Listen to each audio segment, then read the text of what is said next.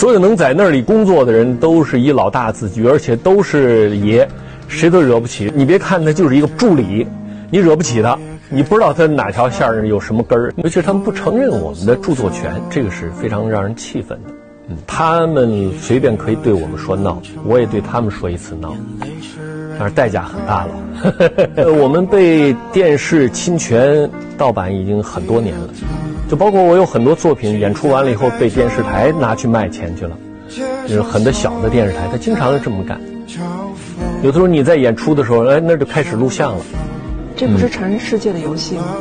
不是成人世界的游戏，这个世界是应该是有规矩的世界，这样对我们每一个人能生活的更好。如果都这么没规矩呢？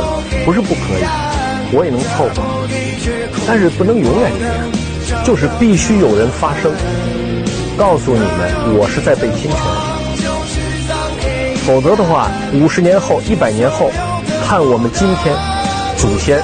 是这么生存的，他们会愤怒，他愤怒不是强权，而是愤怒每一个接受强权的这个人。